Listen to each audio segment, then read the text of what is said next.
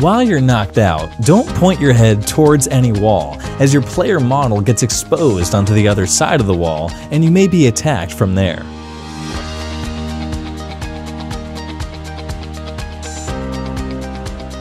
The armored UAZ. Is it fully bulletproof?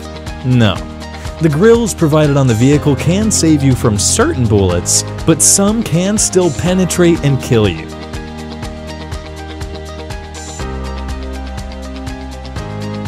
If you're ever stuck under an airdrop and don't find any way to get out, ask your teammate to bring a vehicle near you. Now press the Get In button to free yourself from the airdrop.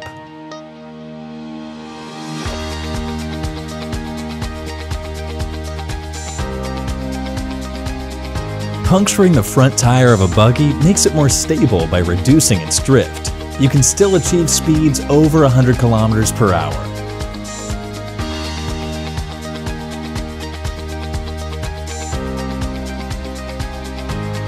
You can cancel out a smoke grenade in this manner. Take a new smoke grenade in your hand, change it to low toss, and now start cooking the grenade. Now press the cancel button, and boom, it's gone. Although this is a bug, it works fine.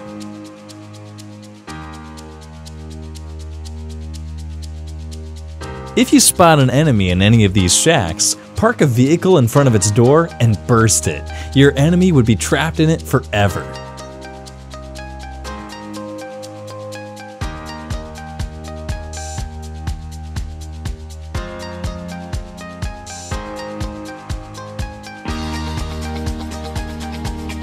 Ever wondered which is better out of these two? Even a 99% damage level 3 helmet can save you from getting knocked out from a Kar98 or an M24 if your health bar is full, whereas a fresh level 2 helmet won't be able to save you. If you're in an intense battle and you start reloading a weapon such as the M249, which still has ample bullets to kill an enemy, you can cancel the reload by quickly clicking on the weapon twice. Now you can take the fight easily. Ever wondered what these medals mean? Here's the meaning of most of the common medals that you receive after every match. You can pause the video and have a look at it.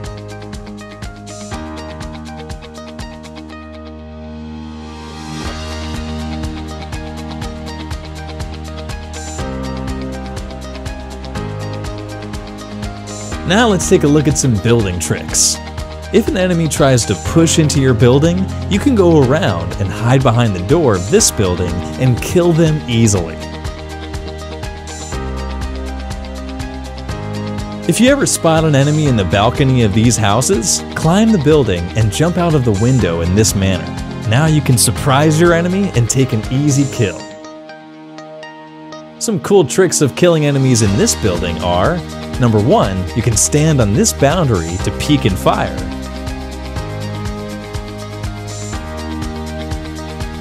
Number 2, you can jump over here from the balcony to kill enemies in the small room. And number 3, you can stand on the boundary of the balcony and fire at enemies waiting on the roof of the building.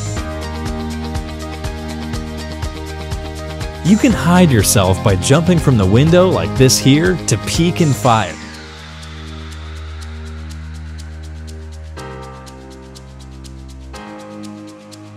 One more good way is to jump onto this part of the building and wait for your enemies to climb up the stairs.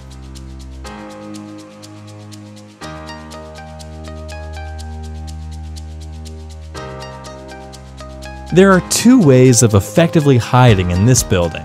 You can jump from the top floor onto this roof and crouch down to stay hidden. As soon as the enemy approaches the terrace, climb back and kill them.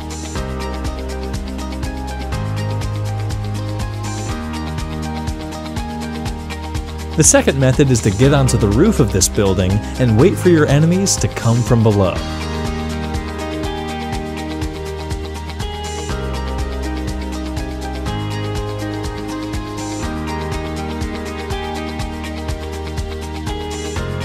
Ever wondered what the gyroscope is for?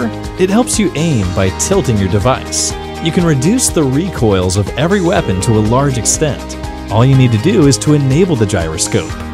Now change the sensitivity settings and increase it as per your comfort. Avoid using the Molotov cocktails in the final circle because it discloses your location.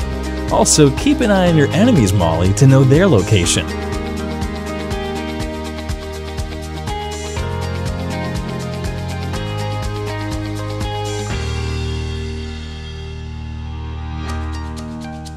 If you ever get knocked out away from your teammates while having a flare gun, drop the flare gun's ammo somewhere so that your enemies can't find it.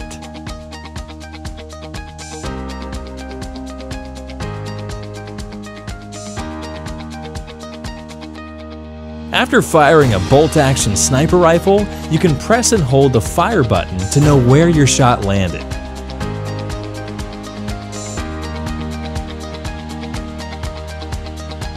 One of the easiest ways to get the sharpshooter badge is to jump at the end of the map. You'll see many offline players over there.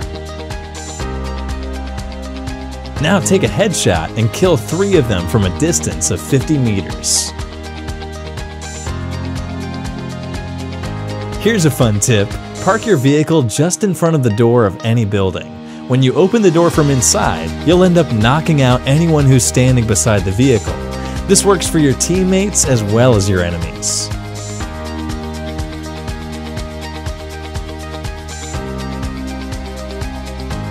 Here's a bonus tip.